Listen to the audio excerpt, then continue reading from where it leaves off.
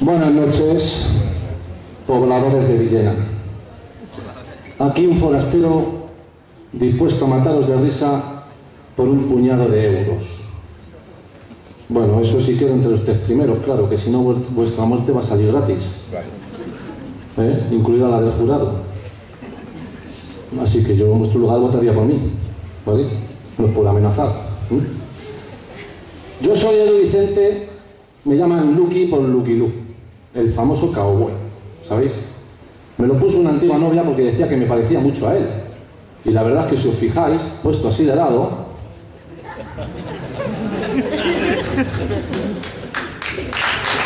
¿verdad? Nadie, ¿eh? Bueno, pues lo curioso es que por el otro lado me pasa lo mismo. ¿Sabes? Vamos, no me, no me digáis que no doy el perfil. Yo antes, como Lucky Lu, me relajaba a base de canutillos. Ahora, igual que él, me relajo a base de pajillas. Pajillas como esta, ¿vale? Bueno, también me relajo con otro tipo de pajillas, pero claro, esa no la voy a enseñar aquí. ¿Verdad? Mi caballo no ha querido venir, se ha vuelto muy vago. Le pongo la silla 60. Dice que peso mucho. Yo no sé, estoy más chupado que la pipa un indio. Sí, ya sé que este chiste es muy viejo. Pero no me digáis que en la temática que estoy tratando no ha entrado como una flecha. ¿eh? O como una bala. ¿Verdad? Yo disparando soy más rápido que mi propia sombra. Os ha jodido, no tengo ni sombra. Lo mío es el espagueti western. Os voy a ser sincero. Yo es que lo quemo todo. A base de pajillas. Es una dieta cojonuda y encima gratis. Os la recomiendo. Así que nada, como me quedé sin caballo para venir hasta aquí, pues me tuve que buscar la vida para llegar desde el lejano oeste. Y mira que está lejos el oeste, ¿eh? Joder, que empecé mi camino hace casi un mes cuando me comentaron los de la organización que me habían seleccionado y he llegado nada, hace un par de horas. Estoy agotado. Así que si me lo permitís, si no os importa, voy a contar mi película aquí sentadito, ¿vale? Sí, porque lo que yo he vivido para llegar hasta aquí ha sido una auténtica película del oeste. Y yo el protagonista. Veréis. En primer lugar me pillé el ferrocarril. Concretamente el tren de las 3 y 10 que venía de Wisconsin. ¿Vale? Bueno, pues al llegar a Orlando se ha montado un tomate. Han asaltado el tren unos mineros asturianos. Se han metido en la sala de máquinas y se han llevado el carbón. Digo, no jodáis, tronco, no me hagáis esto, que yo estoy con vosotros, que, os apoyo, pero joder, que tengo que llegar a la villena, que tengo una actuación, hombre. Además, que hacéis buscando carbón si este territorio, este territorio está lleno de minas de oro? Digo, es que tenéis pocas luces en la cabeza. Vamos, que yo vea solo una.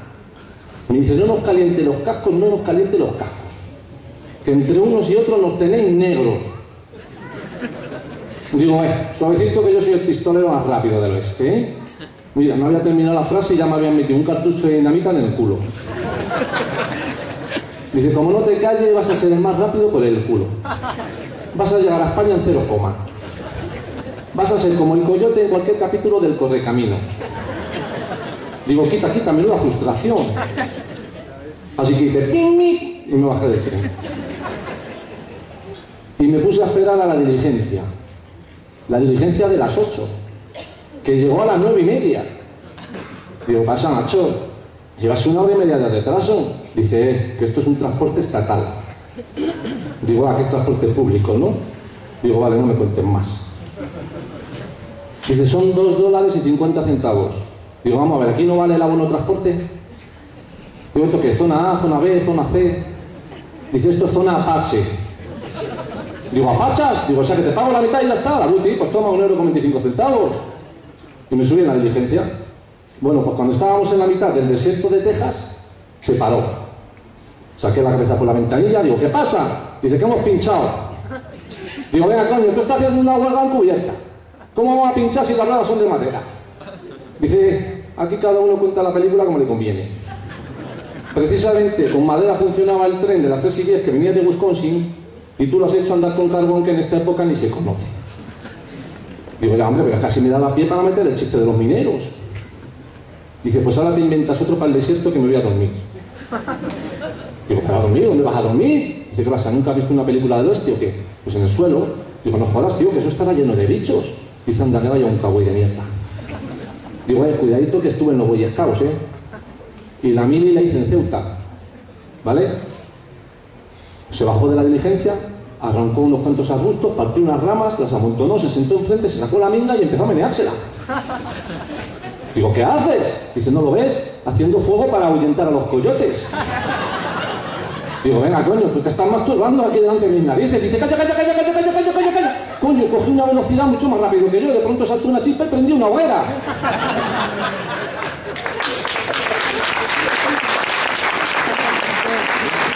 Y luego, y luego se durmió. Y allí me quedé yo, más nervioso que el día que le presentaron a mi suegra. No sabía qué hacer para relajarme, si un canuto o una pajilla.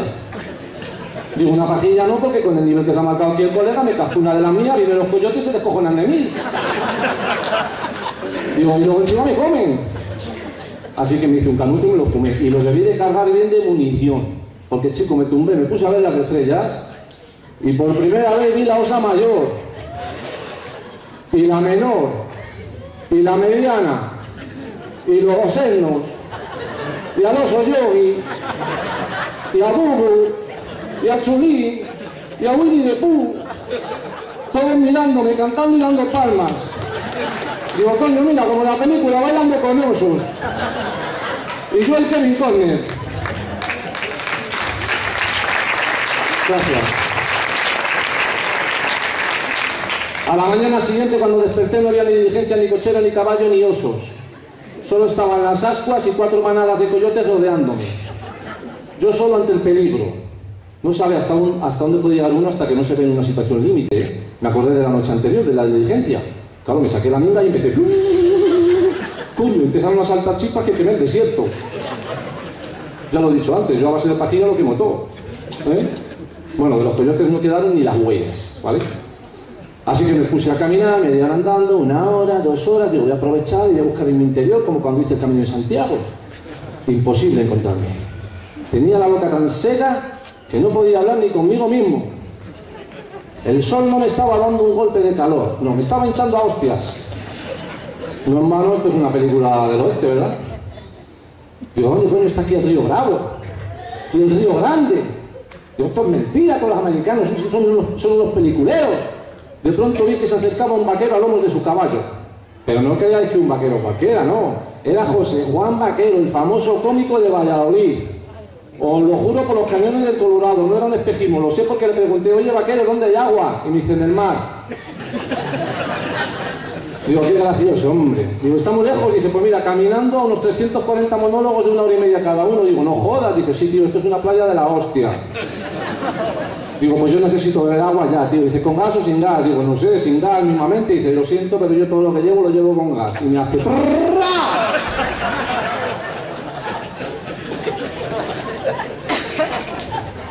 Y se perdió en el horizonte. El vaquero, porque el olor allí se quedó. Y hice otra vez, y salí picando. Joder, que tío, ¿cómo se petaba? Igual que cuenta chistes. La hostia. De pronto exclamé, por las barbas de Abraham Lincoln, un poblado. Efectivamente, había llegado a un poblado. Al primero que me encontré le pregunté, oye, ¿dónde está el bar? Dice, ¿bar? Dice, ¿de dónde eres, forastero? Digo, vamos a ver, tronco, piensa un poco. ¿De dónde va a ser un tipo que lo primero que hace es preguntar por el bar? De España, coño. Dice, España, coño. Digo, sí, España, coño, con ñ. Dice, no sé. Digo, sí, hombre, la tierra de Gasol, el grande. Digo, la tierra de Nadal, el fuerte. La tierra de Alonso, el veloz. Digo, la tierra de Paquito, el chocolatero. Dice, era Paquito, como Paquirrín, el hijo del torero, toro, solero, San Fermín, 1 de enero, 1 de febrero, 3 de marzo, 4 de abril, 5 de mayo. Digo, ¿qué cojones? Digo, mira, te acepto Paquirrín como símbolo nacional, pero si me dices dónde está el bar. Dice, bar, pero ¿qué es un bar? Digo, vamos a ver, tronco. Digo, un sitio donde te ponen de beber. Dice, ah, ya, tú buscas el salón. Digo, ¿qué salón y qué cojones? Yo quiero ver, yo quiero ver la tele. Dice, cuatro cuadras más adelante. Digo, cuatro cuadras, digo, siempre he dicho que en Estados Unidos no hay más que animales. Así que pasé de él, me metí en el poblado, empecé a mirar para un lado, para otro. Digo, joder, estos americanos son como Pinocho, por partida doble. En primer lugar, aquí que tienen todo de madera, tienen que tener unos descuentos en el IKEA de la hostia. Ahora entiendo el de la entrada, se estaba yendo el sueco. Solo falta que dentro de poco, por aquí en la callejuela, me encuentre al próximo concursante, Javi J. Palo. ¿Eh? Y luego, también como Pinocho son muy falsos y muy mentirosos y todo esto está copiado del Parque Warner. Que lo he visto yo, que estuve allí con mi hijo. De pronto vi un cartel que ponía Salón. Digo, coño, yo voy a pasar, a ver qué pasa. Pasé nada más entrar, me pegaron un empujón, me caí de morros. Todo descojonándose de risa. Me levanté tosinado y digo, ¿quién ha sido que le reviento? Dice, uno ha sido la puerta, forastero. Miré para atrás y efectivamente había sido la puerta. Bueno, la puerta, un cachotada que tenían ahí. Los americanos siempre innovando. Digo, porque sepáis que esta puerta es una mierda. Por aquí abajo se escapa el calor y por arriba el aire acondicionado. Esto es un derroche de energía. Claro, como a vosotros los yanquis os importa una mierda el cambio climático, y que sepáis que el nombre del bar está mal puesto, salón con dos os, analfabetos. Aquí como vais todo de superiores, pues nada. Bueno, para llegar hasta la barra, tuve que apartar a un tipo que estaba ahí todo pachanga. Y parece que se mosqueó, el gilipollas. Dice, hey, forastero, ten cuidado conmigo. Yo soy Johnny, Johnny Wine, alias el sucio. Digo, vale, yo soy Edu, Eduardo, alias Lucky. Y no me ha visto los calzoncillos. Dice, yo soy un caza recompensa. Digo, yo que de la caza paso, digo, prefiero la pesca. Me dice, ¿de dónde eres, forastero? Digo, otro igual. Digo, mira, te lo voy a decir cantando para que te enteres bien, como a los niños. Y encima me va a ayudar todo este público maravilloso que está aquí viendo esta película. ¿Vale? Así que venga, ayúdame todo para que se entere este yankee de dónde somos nosotros. Yo soy español, español, español. Yo soy español, español, español. Yo soy... ¿Está enterado, yankee de mierda? Español. Eh, y mucho cuidadito que somos campeones del mundo. Mira dónde llevo la estrella. ¿Vale? Así que ya me vine arriba, cerré los ojos y empecé, venga todos, ¡a por ellos! Cuando abrí los ojos estaban todos apuntándome con la pistola. Dice, ¿estás seguro que vas a poder con todo, forastero? Digo, no jodas, para vosotros la copa, para vosotros la copa. Y se en una ronda a mi cuenta. Digo, bueno, venga, vale, estoy de buenas, pago yo. Pero que coste que a tocar las pelotas a los españoles no nos gana nadie, ¿vale? Me dice Johnny, yo soy un tipo duro de pegar. Digo, que no me voy a comer a nadie. Tranquilo, que estoy de buenas. Dice, yo tengo barba de cuatro días. Digo, y un bigote de 30 años. Dice, ¿bigote? ¿Dónde llevas el bigote? Digo, encima del cipote. Dice, ¿cipote? ¿Qué es el cipote? Digo, lo veo, te digo. Mucho este salvaje, pero poco de follar. Fantasmas, que sois unos fantasmas. Y si tú no serás un fuera de la ley, digo, pues mira, sí, ¿qué pasa? Tengo una multa de apartamento sin pagar, hago trampas en la declaración de la renta y la reforma del baño la he pagado con dinero negro. Ya te lo he dicho, tronco, que soy un español. Dice, yo no tengo casa, ni hijo, ni mujer, ni familia, ni amigo, ni origen, ni destino. Digo, ya, para, para, para, para, que te sientes un excluido social, ¿no? Digo, no te preocupes, tengo un psicólogo cojonudo, tío. Fíjate, me está atendiendo a mí y mira cómo tengo mi autoestima de su vida y eso que soy español y estoy arruinado, ¿sabes? Dice, yo mastico tabaco. Digo, ya, y yo fumo chicles. Dice, yo escupo a un perro y le hago daño. Digo, pues yo a mi rantanplan le dejo de hablar y ya se deprime. Dice, yo he casado a 18 hombres. Digo, yo he pescado a 24 mujeres. Dice, yo he sido capaz de cabalgar durante cuatro días con sus cuatro noches sin descansar, sin comer y sin beber. Digo, a la venga ya, fantasma. Me parece a mí que tú tienes muchos horizontes de grandeza. Yo también he sido capaz de follar durante cuatro días con sus cuatro noches, sin descansar y sin comer, pero sin beber. A mano jodas. Una docena de cubatas por lo menos han caído, tronco. Y otra cosa no será, ¿sabes? Estaremos arruinados, pero en España de fiestas entendemos muy rato. Y me dice, yo quiero ir a España, yo quiero ir a España. ¿A cuántas millas está? Digo, millas. ¿Tú sabes cuánto mide la milla? Dice, no. Digo, más que la tierra. Digo, ¿y seguro? Digo, y seguro que la tienes de madera. Y ahora dejadme todos tranquilos que necesito urgentemente echar un trago. Muchas gracias y buenas noches.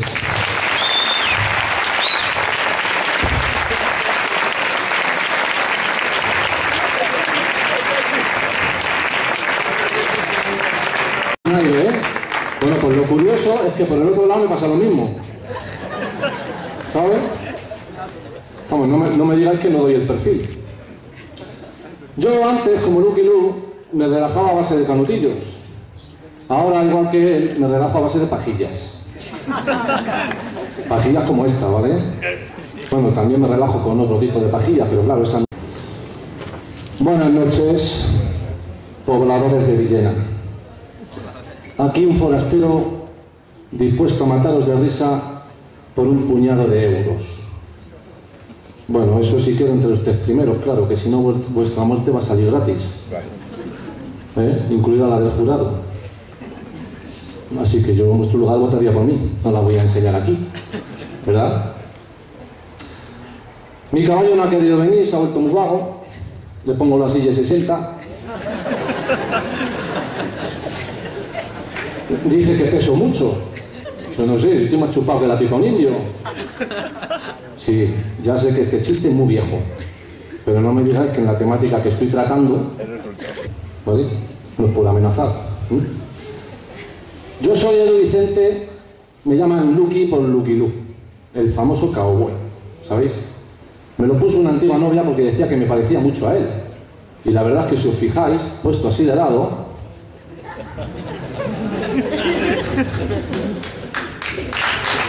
¿verdad? Sí, no ha entrado como una flecha, ¿eh? o como una bala, ¿verdad? Yo disparando soy más rápido que mi propia sombra. Os ha jodido, no tengo ni sombra. Lo mío es el espagueti western. Os voy a ser sincero. Yo es que lo quemo todo. A base de pajillas. ¿vale? Es una dieta cojonuda.